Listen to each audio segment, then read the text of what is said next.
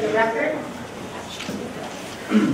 Alan Roebke, Inform TV, Box 333, Alexandria. Uh, Mayor, council members, uh, I was here uh, a couple different times to talk about some expansion of our airport, to have potential to bring in some type of uh, uh, charter jet service.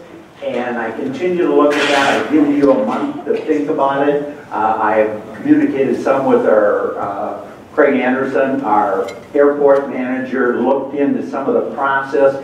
And basically what I'm here tonight, I would like you guys to move ahead at least one year in your application for upgrading uh, some runways out there because all, all the things that I've looked into, if we would do some extensions of our runways, even uh, some displaced areas that would help for uh, takeoff on the bigger airplanes, we need to do it now. And I would also like you to think about, I, I, I toured the Bellanca building this week, and I, I think potential, I know the city has wanted to get rid of that. If you would give me and, and a group that I put together uh, uh, uh, to work on this, some exclusiveness in charter or bringing some form of, of scheduled service in.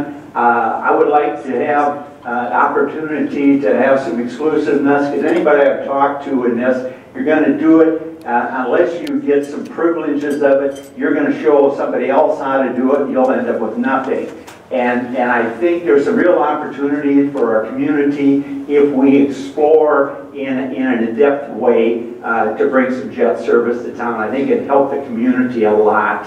And I was just wondering if any of you have any questions or any thoughts, being I was here twice before. Uh, are any of you interested in it, or uh, does it not interest you?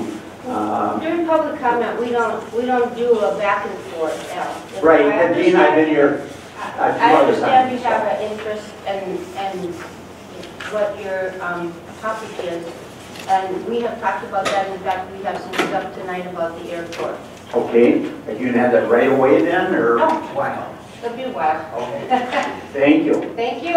Any other public speaking?